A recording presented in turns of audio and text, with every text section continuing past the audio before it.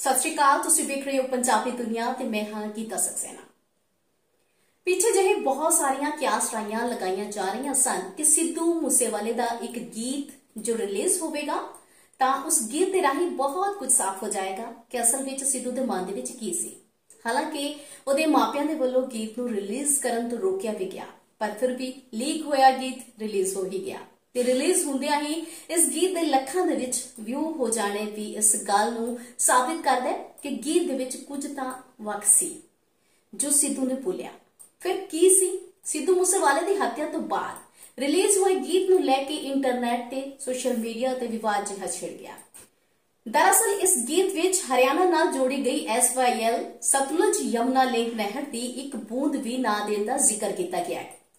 ਹਰਿਆਣਵੀ ਗਾਇਕ ਤੇ ਮੁੱਖ ਮੰਤਰੀ ਮਨੋਹਰ ਲਾਲ ਖੱਟੜ ਦੇ ਪਬਲਿਸਿਟੀ ਓਐਸਡੀ ਗਜੇਂਦਰ ਫੋਗਾਟ ਨੇ ਇਸ ਗੀਤ ਦਾ ਵਿਰੋਧ ਕੀਤਾ ਹੈ। ਹੁਣ ਗਜੇਂਦਰ ਫੋਗਾਟ ਇਸ ਦੇ ਜਵਾਬ ਦੇ ਵਿੱਚ ਗੀਤ ਬਣਾਉਣਗੇ। ਗਜੇਂਦਰ ਫੋਗਾਟ ਦਾ ਕਹਿਣਾ ਹੈ ਕਿ ਗੀਤ ਦੀ ਵੀਡੀਓ ਐਡੀਟਿੰਗ ਦੇ ਵਿੱਚ ਪੰਜਾਬ ਦੇ ਕੁਝ ਇਲਾਕੇ ਨੂੰ ਪਾਕਿਸਤਾਨ ਦਾ ਹਿੱਸਾ ਵਿਖਾਇਆ ਗਿਆ ਹੈ, ਜੋ ਕਿ ਰਾਸ਼ਟਰਵਾਦ ਦੇ ਖਿਲਾਫ ਹੈ। ਇਸ ਲਈ ਗੀਤ ਦੀ ਵੀਡੀਓ ਐਡਿਟ ਕਰਨ ਵਾਲੇ ਲੋਕਾਂ ਦੀ ਜਾਂਚ ਹੋਣੀ ਜ਼ਰੂਰੀ ਹੈ, ਚਾਹੀਦੀ ਹੈ। ਤਾਂ ਜੋ ਸੱਚ ਜਿਹੜਾ ਹੈ ਸਾਹਮਣੇ ਲਿਆਂਦਾ ਜਾ ਸਕੇ। ਇਸ ਦੇ ਨਾਲ ਹੀ ਉਹਨਾਂ ਇਹ ਵੀ ਕਿਹਾ ਕਿ ਉਹ ਇਸ ਗੀਤ ਦੇ ਬਰਾਬਰ ਇੱਕ ਗੀਤ ਬਣਾਉਣਗੇ, ਜਿਸ ਦੇ ਵਿੱਚ ਰਾਸ਼ਟਰਵਾਦ ਤੇ ਤਿਰੰਗੇ ਦੀ ਸ਼ਾਨ ਨੂੰ ਦਰਸਾਇਆ ਜਾਵੇਗਾ। ਇੰਟਰਨੈਟ ਮੀਡੀਆ ਨੇ ਇਸ ਗੀਤ ਨੂੰ ਪੰਜਾਬ ਬਨਾਮ ਹਰਿਆਣਾ ਦੇ ਨਾਲ ਜੋੜਿਆ ਜਾ ਰਿਹਾ ਹੈ। ਇਸ ਗੀਤ ਵਿੱਚ ਐਸਵਾਈਐਲ ਨਹਿਰ ਦਾ ਜ਼ਿਕਰ ਕੀਤਾ ਗਿਆ ਹੈ। ਪੰਜਾਬੀ ਭਾਸ਼ਾ ਵਿੱਚ ਕੁਝ ਸਤਰਾਂ ਅਜਈਆਂ ਹਨ ਜਿਨ੍ਹਾਂ ਦੇ ਵਿੱਚ ਲਿਖਿਆ ਗਿਆ ਹੈ ਕਿ ਪਾਣੀ ਦੀ ਇੱਕ ਬੂੰਦ ਵੀ ਨਹੀਂ ਦੇਾਂਗੇ ਪਰ ਇਹ ਸਪਸ਼ਟ ਨਹੀਂ ਹੈ ਕਿ ਕੌਣ ਪਾਣੀ ਦੀ ਇੱਕ ਬੂੰਦ ਨਹੀਂ ਦਵੇਗਾ।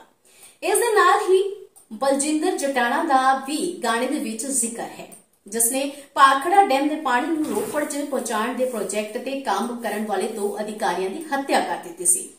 ਇਸ ਤਰ੍ਹਾਂ ਇੰਟਰਨੈਟ ਮੀਡੀਆ ਤੇ ਗਾਣਾ ਰਿਲੀਜ਼ ਹੁੰਦੇ ਹੀ ਵਿਵਾਦਾਂ ਦੇ ਵਿੱਚ ਆ ਗਿਆ। ਜੀ ਹਾਂ, ਅਸੀਂ ਸਿੱਧੂ ਮੂਸੇਵਾਲੇ ਦੇ ਗੀਤ ਦੀ ਗੱਲ ਕਰ ਰਹੇ ਹਾਂ।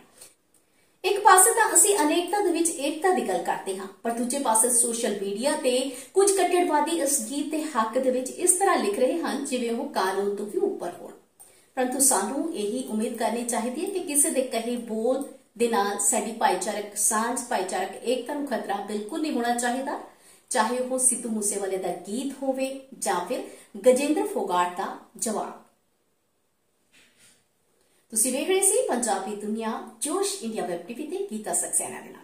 ਫਿਰ ਕਿਸੇ ਹੋਰ ਵਿਸ਼ੇ ਤੇ ਟਿੱਪਣੀ ਨੂੰ ਲੈ ਕੇ ਫਿਰ ਤੋਂ ਵਾਪਸ ਪਰਤਾਂਗੇ। ਤਦ ਤੱਕ ਦੇ ਲਈ ਮੈਨੂੰ ਦਿਓ ਇਜਾਜ਼ਤ। ਸਤਿ ਸ਼੍ਰੀ ਅਕਾਲ।